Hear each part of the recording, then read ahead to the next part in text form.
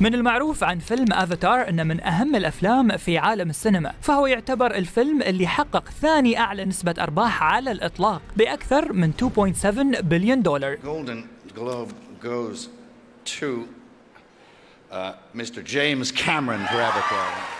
بالإضافة لحصوله على عدد كبير من الجوائز وأهمها الأوسكار وجائزة أفضل مخرج من ال Golden Globes Very grateful to the Hollywood.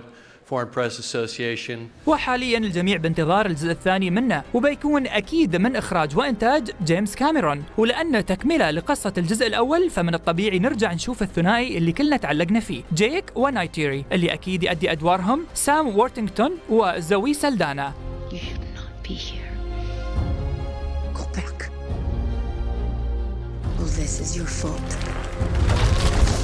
I need your help.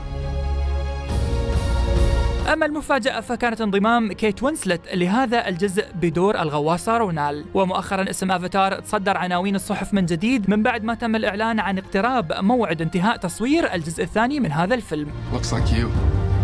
This is your avatar.